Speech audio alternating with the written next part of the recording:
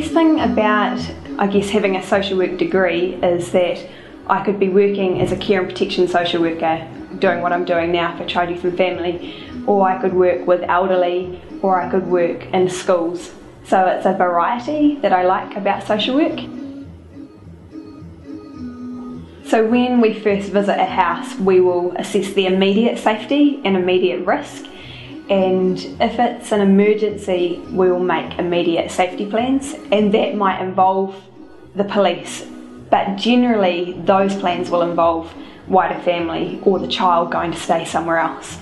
Yeah, when we are solving problems, there's room for creativity in the sense that my solution isn't always the right way or the only way, and often families will come up with their own solutions that you go, oh, actually, that could work.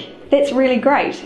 And as a social worker, I'm taught that I'm not the expert, that actually that family and that person is the expert of their own life and their own situation. So when we go back to the office after seeing a family, we will have a joint consult with um, the supervisor and with other social workers, and it's about having a range of ideas and having accountability when we make decisions.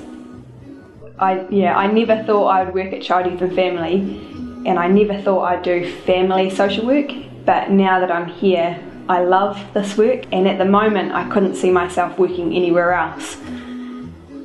The little things are really important in this job when a child goes home after a long time of being in care, and you know that that's the best thing for them to be home, and you know that they'll be safe when they go home.